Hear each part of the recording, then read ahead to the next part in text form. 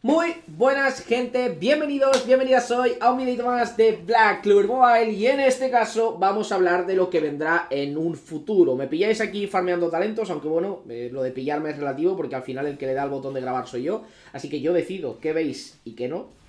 Las veces en las que meta dinero en el jueguito no voy a querer que las veáis, pero estamos hoy aquí para hablar del futuro, de una de las cosas que más preocupa a los jugadores del gacha y es qué es lo siguiente por lo que tenemos que ahorrar. No qué es lo siguiente más fuerte del juego, no qué es lo, el siguiente evento que aparece, qué cosas da. No, no, no. ¿Para qué tenemos que guardar las gemitas que vayamos consiguiendo a partir de hoy? Ahora que Julius y ahora que Noel ya están en nuestras cuentas. Porque debéis tenerlos. Y si no los tenéis, algo más mal habéis hecho. Eso es así. Algo mal habéis hecho, o os falta dinero por meter, eso es así. Ya sabéis que es broma, eh, nunca recomiendo meter dinero en estos juegos, pero evidentemente, pues bueno, ya sabéis que, yo invierto algo de dinero porque creo contenido de ello y al final pues también recupero algo gracias a, que veáis los vídeos y los apoyéis. Que por cierto, como siempre, muchísimas gracias a toda la gente que se suscribe, a toda la gente que da like, a toda la gente que comenta, gracias a la gente que se une, por supuesto, de verdad lo agradezco muchísimo. Y muchas gracias también a la gente que me sigue en mis redes sociales, en especial en Twitch, que es donde hago directo todos los días. Así que te recomiendo, te recomiendo, perdón, que te pases. Así que sin más, vamos a ir directamente a la database donde vamos a hablar de los próximos personajes que van a aparecer. Y os digo desde ya, como ya os dije desde el primer momento del juego, que siempre, siempre, siempre voy a recomendar que únicamente tiréis a personajes seasonals y a personajes limitados. ¿Cuáles son estos personajes? Pues los personajes que estáis viendo por aquí seriados, que tienen la S y un numerito, es decir, de la Season 1 hasta la Season 6, y los personajes limitados que serían tanto Julius como Black Asta. Estos personajes son los que no aparecen en todos los banners y por supuesto, simple y llanamente por eso, por el hecho de ser limitados, merece la pena tenerlos por encima de cualquier otro, ¿no? Hay alguna excepción, hay algún personaje que está dentro del banner permanente, por así decir, eh, y que estará siempre dentro del banner permanente, que merece la pena tener, pero volvemos a lo de siempre. Es un personaje que tirando a cualquier banner te puede salir, por supuesto, la mayor oportunidad siempre la tendrás tirándole directamente a su banner, pero lo más inteligente sería, insisto, tirar a esos banners limitados y centrarse únicamente en ellos. ¿Cuáles son los personajes que se quedan fuera de estos banners limitados? Em, ¿Y cuáles de ellos son interesantes? Pues bueno, estaríamos hablando, vamos a ir por orden, empezaríamos hablando de Fana Hateful. Este es uno de los últimos personajes que han aparecido y de hecho hablaremos de ella un poquito más adelante porque es uno de estos personajes que se salta esta pequeña... Em, ¿Cómo decirlo? Esta, básicamente es la excepción que confirma la norma. Al final hay muchos personajes dentro del banner permanente que son buenos y que tienen mecánicas interesantes y que son distintos al fin y al cabo que muchos otros, como por ejemplo el Geldre, que es al final un support verde, que hace cosas, porque hace cosas, pero es que, hablemos en plata, eh, Charlotte Seasonal lo hace mejor y por supuesto la hace muchísimo más importante, ¿no? Entonces, pues si tuvieses que elegir entre Geldre o Charlotte Seasonal, pues por supuesto te quedas con Charlotte Seasonal. Pana es una de estas excepciones, así que hablaremos de ella un poquito más adelante. Hablamos de Geldre, un personaje que no merece la pena para nada, no he visto que lo utilice prácticamente nadie, Espero algún día darle uso porque me parece un personaje gracioso y que se sale de la norma, pero ya está, no habría que darle mucha más importancia. Cajono y Kiato, que serán los próximos personajes en aparecer. Ambos dos son bastante buenos. Cajono, si tienes a la Charmy Seasonal, no te hace absolutamente ningún tipo de falta porque cumple su función, es un healer azul, así que no la quieres, eh, a no ser que haya un evento en el que tengas que utilizar dos equipos azules porque te enfrentas a un evento rojo, etcétera, etcétera, y aún así no merece la pena. Así que eh, Cajón no la tendría en cuenta, por supuesto. Y Kiato siendo uno de los mejores personajes a la hora de golpear unitarget a enemigos, ¿no? Eh, muy pero que muy fuerte. Si consigues que meta crítico, mete unos capones espectaculares. Pero bueno, de nuevo, te puede salir en cualquier banner y yo por lo menos no invertiría gemas por él, ¿no? Pasaríamos con Langris, también uno de los personajes más, entre comillas, actuales. Un personaje decente, un personaje chulo, atacante verde. Eh, atacantes verdes hay bastante buenos y es que al final el juego tiene tres elementos. Espero que eventualmente acaben apareciendo los típicos dos extra, que si la luz y la oscuridad y tal, que me molaría bastante. Pero bueno, eh, al final, pues bueno, atacantes verdes también tienes. Tienes a Lich, tienes a Raya, eh, tienes algún personaje seasonal, si no recuerdo mal, que ha ido apareciendo. No, porque Juno es de Ufer. Pero bueno, al final personajes tienes, no es que sea malo, ni muchísimo menos, pero bueno, tampoco invertiría gemas por él teniendo en cuenta los banners que lo rodean, ¿no? Porque este precisamente sale en momentos peliagudos, ¿no? Que si entre Season 5, Season 6 o justo después de la Season 6, por lo menos en JP, ya sabéis que en Global puede cambiar esto, así que, bueno, eh, no voy a hablar mucho más al respecto. La Reina de las Brujas es un personaje curioso, healer rojo, que personalmente creo que solo funciona bien con el Black Asta. Eh, no sé, para llevar un healer rojo prefiero llevar a la Mimosa SR antes que este personaje, pero hay que reconocer que con Black Asta hace un combo espectacular, así que si la podéis conseguir, pues molaría tenerla, simple y llanamente por esto. El Beto Disper, que vuelve a ser una absoluta mierda, no sé qué pasa con los Betos en este juego, y el Juno, que tampoco es un personaje que destaque por su eh, potencial, la verdad. Una vez dicho esto, y hablando de estos personajes... Em, que están dentro, por cierto, voy a salirme de, la partida así por lo menos tendremos algo de fondo, de, musiquita. Eh, una vez dicho esto, hablaríamos ya de las siguientes seasons, ¿vale? Como sabréis, estamos en la Season 2, Season de Noel, Season de Charmy, Season de Gosh, eh, y posteriormente debería llegar la Season 3. ¿Qué es lo que pasa? Que ha aparecido el maravilloso evento de verano, y eso significa que es probable que la Season 3 la manden a tomar por el culo.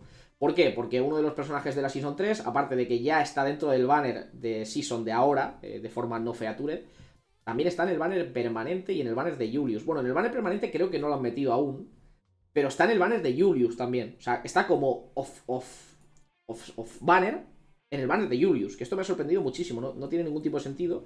Y esto lo que me da a entender, no tiene por qué, es que acabará dentro del banner permanente. Si es que no lo han metido ya, porque honestamente no lo sé y lo han metido.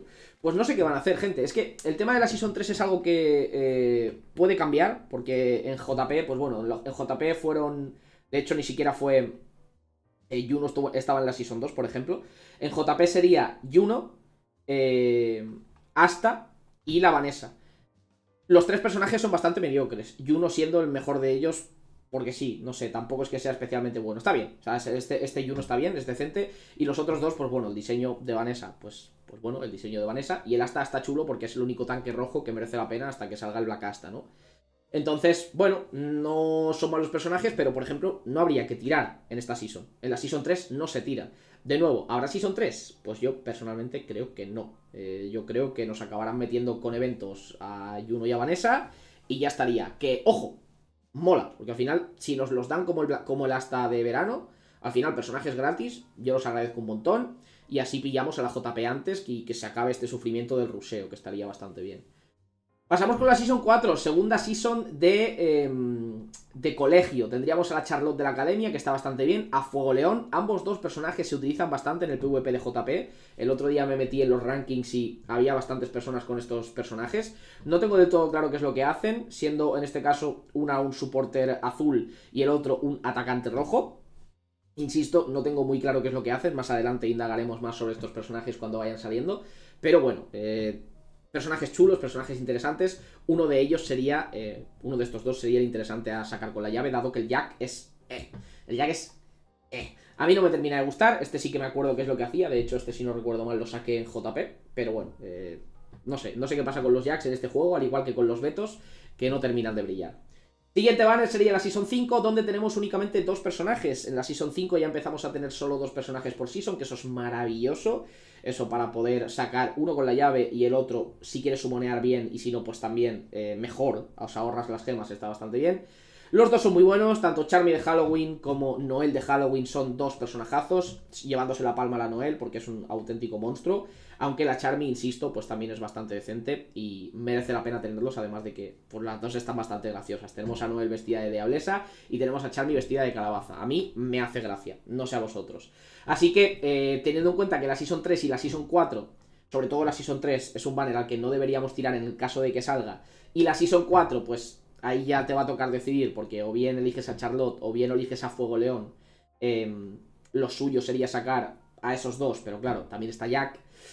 Pues el banner más interesante eh, para plantarnos sería el banner de la Season 5, donde también, si acaba habiendo llave, lo más inteligente sería sacar a Noel con la llave y, por desgracia, decirle que no a la buena de Charmy, que a pesar de que es un personaje bastante curioso, pues no es tan determinante como podría serlo Noel, y así nos ahorraríamos las gemitas, ¿no? De nuevo, eh, hasta el momento tenemos, porque en JP parece que la van a quitar, y tiene todo el sentido del mundo, hasta el momento tenemos esa mecánica tan maravillosa que es la de la llave, que nos permite no tirar a los banners y conseguir aún así un personaje que acaba de salir, que es una auténtica maravilla, ¿no?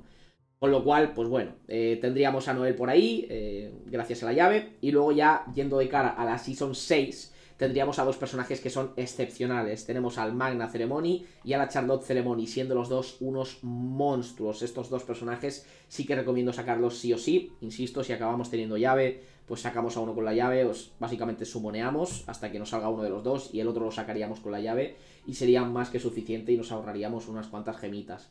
Así que, pues bueno, estos serían los personajes más interesantes que sacar, junto con, insisto también, que yo creo que es importante mencionarlo, la Fana Hateful, un personaje excepcional, tanto para PvP como para PvE, es muy pero que muy buena, 100% recomendable, eh, elimina barrera en, en área, si no recuerdo mal, es que es muy fuerte, muy pero que muy buena. Al final ya sabéis que la barrera precisamente ahora mismo está a la orden del día, así que poder hacerle counter a ese tipo de equipos es realmente excepcional, muy pero que muy decente. Y evidentemente no podíamos terminar este vídeo sin hablar de Black Asta, un personaje que en JP eh, pues ha sido un banner muy pero muy especial, tan especial que se ha pegado una estampada increíble. Y es que, pues bueno, eh, por si no lo sabéis, el banner tenía la peculiaridad de que solo le podías tirar eh, con gemas, es decir, los tickets normales que tenías hasta el momento no los podías utilizar, lo cual pues estaba limitando tu capacidad de, de sumoneación y estaba haciendo que la mitad de tus recursos no sirviesen para nada. Y esto ya, eh, según tengo entendido, está planeado ser cambiado para Global porque evidentemente ha sido un completo desastre.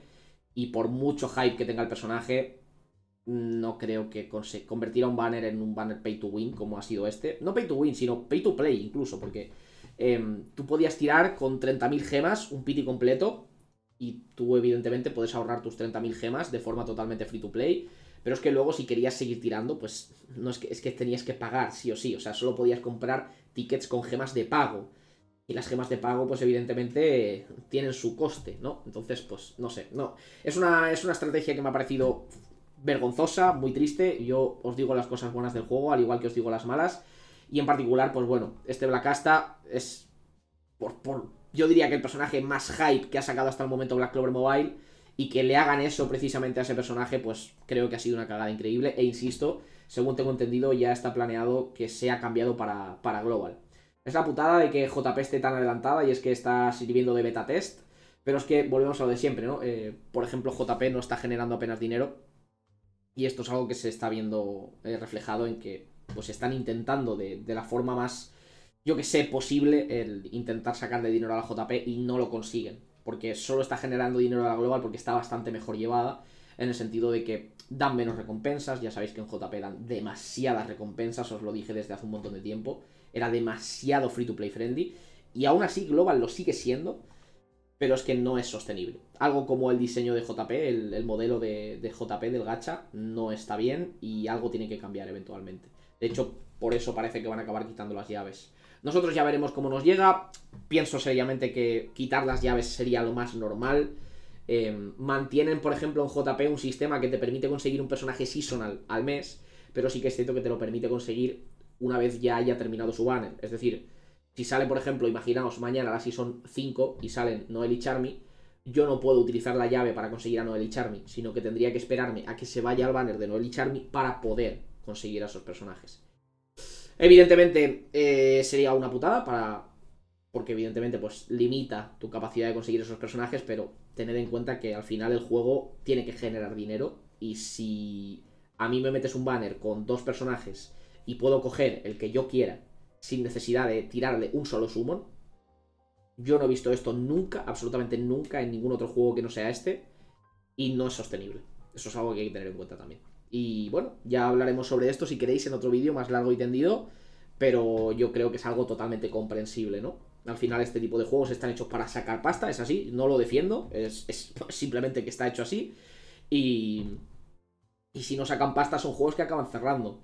Global está yendo de puta madre. Global ha generado una barbaridad de dinero, pero evidentemente tiene que tiene que mantenerse, ¿no? Y si, si cada banner que sale la gente simplemente saca el personaje con la llave, pues eso no va a poder mantenerse, ¿no? Así que nada más, yo lo voy a ir dejando por aquí. Como siempre, agradezco mucho el apoyo que estáis dando a los vídeos. De verdad, muchas, muchas, muchísimas gracias. Espero que os haya gustado el vídeo y espero que os preparéis para lo que está por llegar. El resumen es que eh, lo más inteligente sería ya no solo, ya solo tirar a Season 5, Season 6 y Black Asta, por lo menos a mi forma de ver. Estos son los banners más interesantes que vendrán en los próximos meses. Así que, dicho esto, espero que os haya gustado el vídeo y nos vemos en el próximo. chao, chao, chao, chao. chao, chao, chao, chao